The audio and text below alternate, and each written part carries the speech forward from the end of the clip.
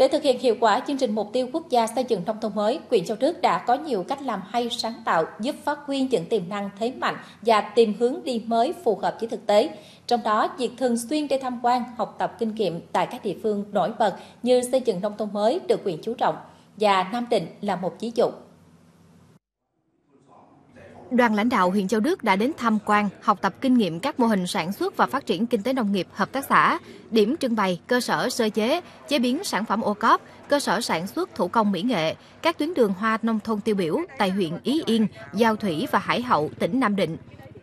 Tại huyện Ý Yên, đoàn công tác huyện Châu Đức đã được địa phương chia sẻ kinh nghiệm xây dựng nông thôn mới nâng cao, nông thôn mới kiểu mẫu, thôn thông minh và công tác huy động nguồn lực, phát huy vai trò chủ thể của người dân trong thực hiện các tiêu chí nông thôn mới,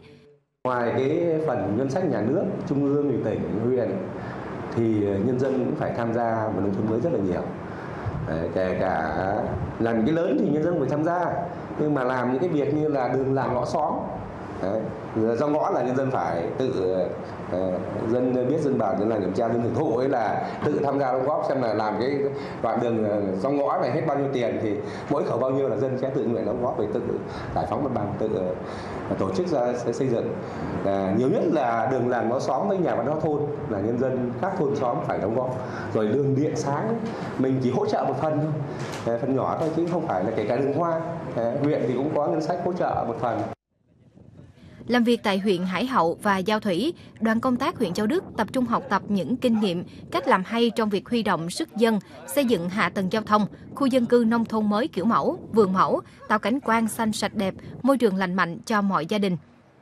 Dân đóng góp rồi à, sửa sang rồi quét quay các thứ còn ở khu vực này thì gần nhà quả ai thì người phải quét sạch sẽ và ngày nào cũng vậy. Sau chuyến tham quan học tập kinh nghiệm thực tế tại tỉnh Nam Định, huyện Châu Đức sẽ chỉ đạo các ban ngành đoàn thể và địa phương trong huyện xây dựng các mô hình mới phù hợp nhằm huy động sức dân tham gia xây dựng nông thôn mới với phương châm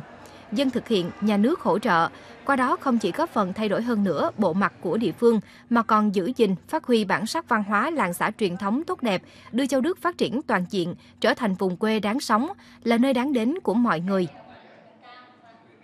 Chúng tôi cũng học hỏi được nhiều cái kinh nghiệm quý báu, đó là à, phát huy vai trò sức dân, rồi cái vai trò của cộng đồng dân cư à, vai trò chủ thể của người dân trong cái việc à, thực hiện quy chế dân chủ cũng như là dân biết, dân bàn, dân làm, dân kiểm tra, dân giám sát và dân thụ hưởng. Ở đây, ngoài việc phát triển kinh tế ra, còn phải tập trung cho cái việc xây dựng À, quê hương ngày một à, khang trang giàu đẹp.